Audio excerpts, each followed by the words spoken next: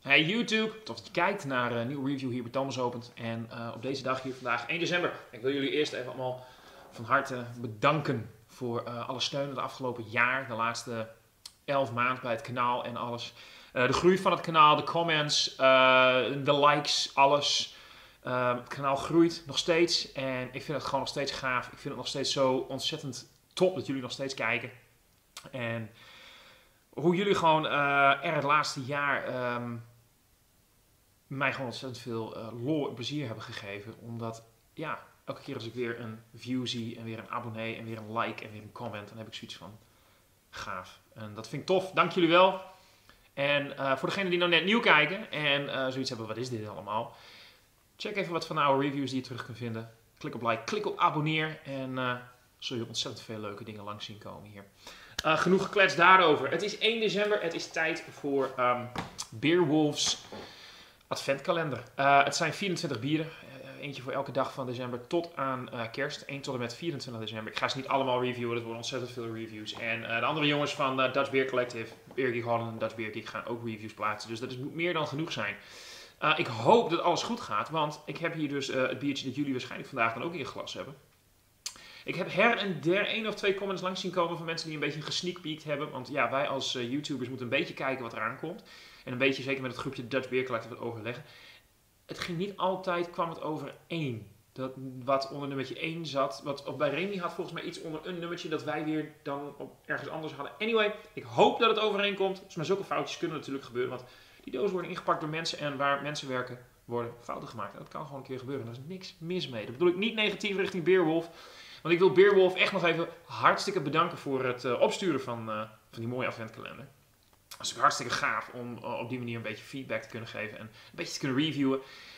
En uh, op deze manier is het natuurlijk hartstikke leuk voor jullie, want jullie hebben het biertje waarschijnlijk dan ook nu gepakt. Dan kun je samen meekijken. En ben je het eens met mijn gezwets of absoluut niet? Ja, dat maakt natuurlijk altijd heel erg grappig. Genoeg geluld daarover. We gaan even over het bier zelf hebben. Het is van uh, Brasserie Melusine uit Frankrijk. Het is een Hellfest IPA, gebrouwen voor het Hellfest uh, Heavy Metal Festival.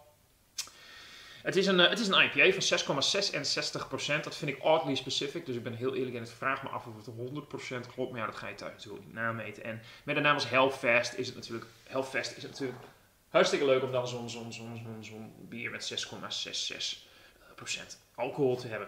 Um, alles staat er op het Frans, dus daar kan ik niks over zeggen.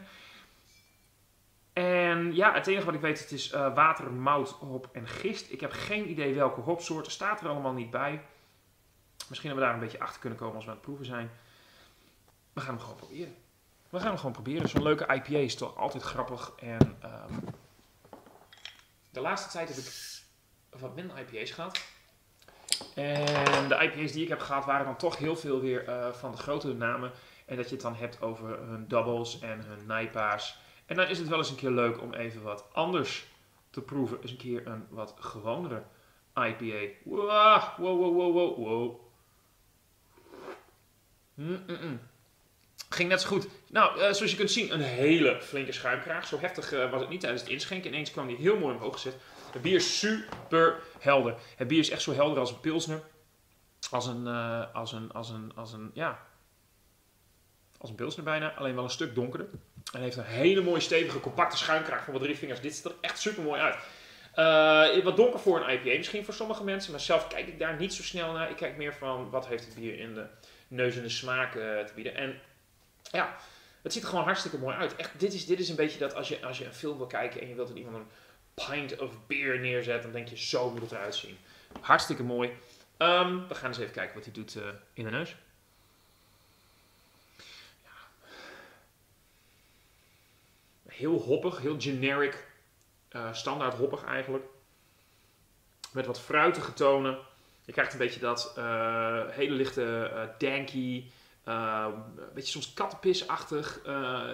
ik zag laatst een hele leuke video langskomen van, um, volgens mij van, ik weet dat hij ook wel eens kijkt, Ferry.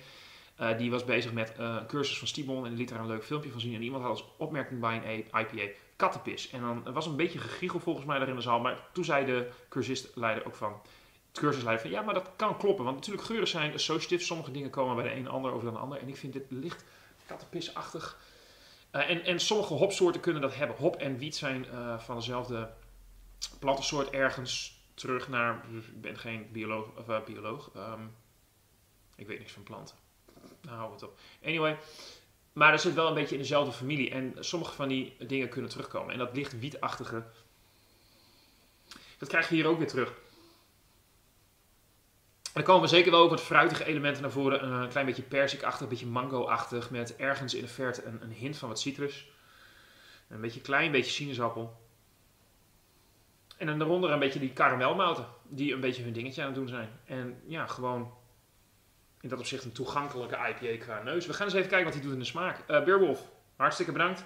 Proost en um, op de volgende 23 Days to Christmas.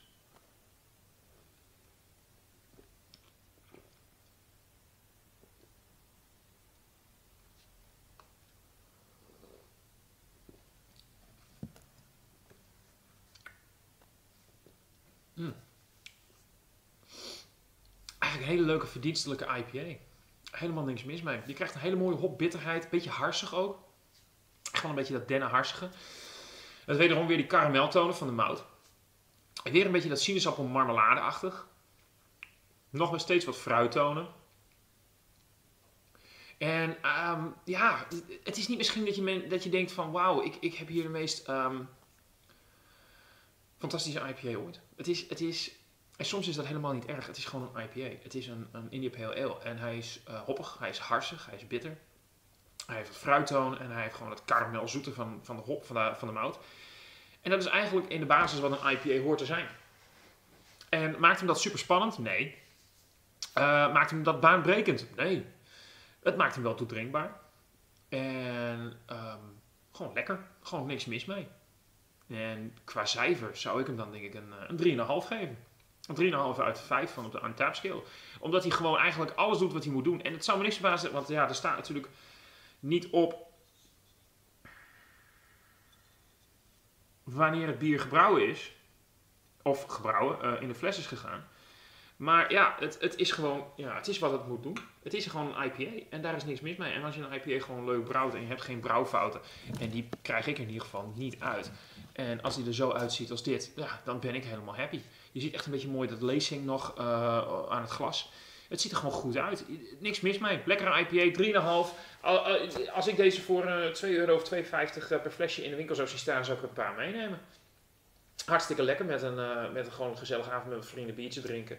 Of even een beetje filmpje kijken. Lekker bij een burger. Zo'n mooi vettige burger en dan een beetje van dit erbij. Super. Leuke IPA. Niks mis mee. Ik ben heel benieuwd wat, uh, wat jullie ervan vinden. Als je nou uh, ook de Beerwolf kalender hebt en je bent deze nu aan het drinken of je hebt hem net gehad, laat eens even een comment achter. Ik ben heel benieuwd wat, wat je van dit bier vond. Sowieso comments zijn altijd leuk. En als je de video leuk vond, klik op like. Vond je hem heel erg leuk? Klik op abonneer. Onderin op schrijvingbox doe ik even een link naar Beerwolf. Ik heb geen idee of ze de kalender nu nog hebben staan. Uh, maar mocht je denken van, oké, weet je wat, je hebt me overtuigd, ik wil hem ook. Misschien kun je hem nog bestellen. Kun je eens even kijken en dan heb je hem hopelijk snel genoeg in huis dat je de rest van de 24 dagen nog uh, even mee kunt, 23 dagen nog mee kunt doen. Um, ja, onderin op schrijvingbox vind je natuurlijk ook links naar mijn social media, Instagram, Untap, Facebook, bieren die ik niet review, wel het een en ander over te zeggen heb, kun je daar terugvinden. En een link naar de Dutch Beer Collective, waar dus de eerder genoemde Dutch Beer Geek en Beer Geek Holland en ik samenkomen. Uh, vind je links naar al onze reviews, al onze social media, de hele reutemeteut, gebouwen, hele leuke website, gebouwen door onze grote maat Martijn. Thanks bro. En ik zie jullie bij een volgende review. Proost.